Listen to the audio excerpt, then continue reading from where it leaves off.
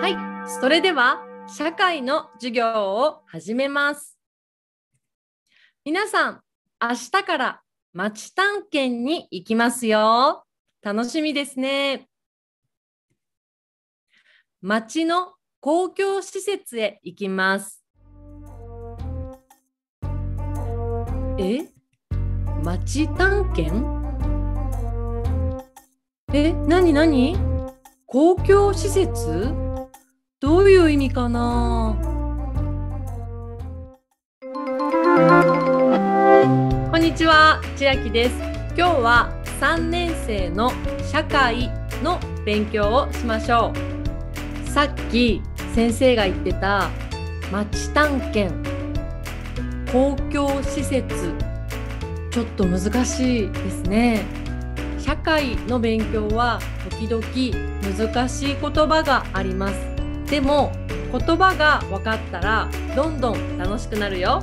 今日は町探検公共施設一緒に勉強しましょう。それでは早速よーいスタートではまず町探検について考えましょう。町は何ですか？町はみんなが住んでいるところです。この絵には建物、家、山、川、道がありますね。みんなの住んでいる町には何がありますか？次、探検です。探検は何でしょうか？探検はまだ知らないことを調べることです。でも本やスマホ、パソコンで調べません。本当にその場所に行って目で見て聞いて勉強することです。ですから町探検はみんなが住んでいる町について見たり聞いたりして勉強することです。次に公共施設について考えましょう。公共施設、ちょっと長いし難しいですね。まず、公共の意味です。公共はみんなのためのという意味です。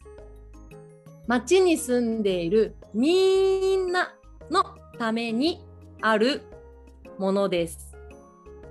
おじいちゃん、おばあちゃんも赤ちゃんも子供もお兄さん、お姉さん、パパ、ママ、みんなのためという意味です。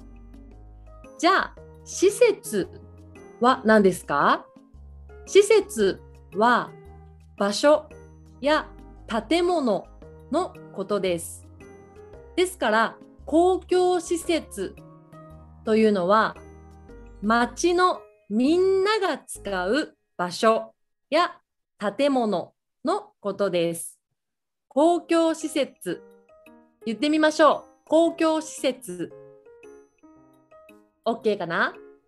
みんなのための場所と覚えましょう。じゃあ、例えば公共施設にはどんな場所があるかな？一緒に見てみましょう。これは何ですか？わかるかな？そう、学校ですね。学校。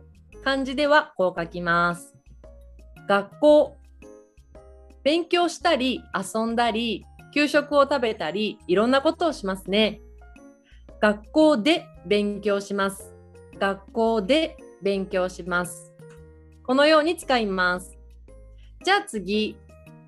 これは知ってる？行ったことがあるかな？そう、公園です。公園。漢字ではこう書きます。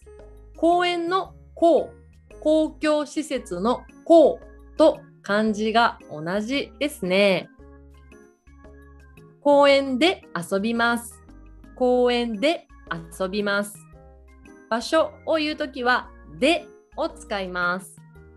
ここはどこですか？ここには本がたくさんあります。知ってるかな？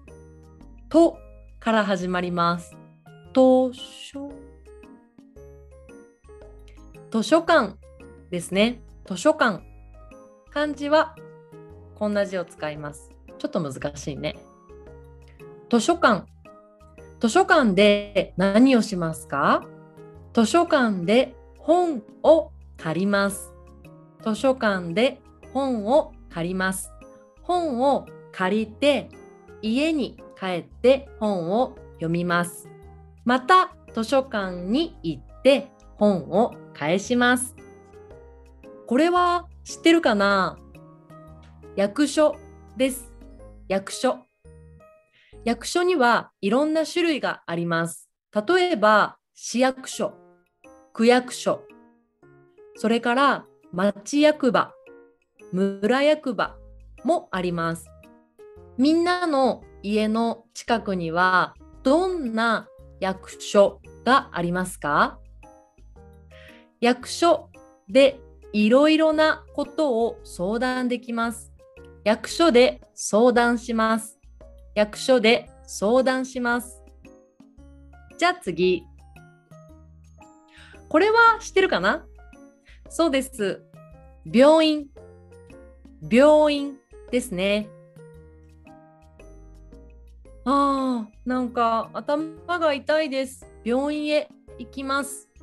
こんな風に使いますね。体の調子が悪いです。元気じゃないです。病院へ行きます。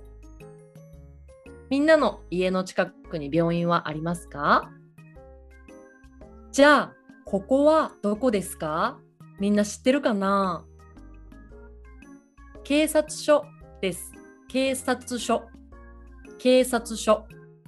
警察は、んみんなの街の安全を守ってくれます。漢字ではこう書きます。この人、この制服を着ている人、この人は警察官です。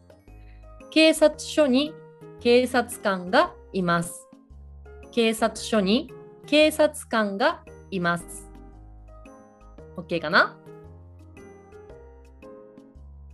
さあ、公共施設について勉強しました。ここで一つ注意があります。実はスーパーマーケット、スーパーやコンビニ、会社は公共施設ではありません。公共施設は国がお金を払って作ります。コンビニやスーパーは国は作っていません。まあちょっと難しいんだけど、スーパーやコンビニ、会社は公共施設ではありません。と覚えてくださいね。今日勉強した公共施設は町のみんなのための場所や建物のことです。じゃあまた社会を楽しく一緒に勉強しましょうね。今日はこれで終わりです。バイバーイ。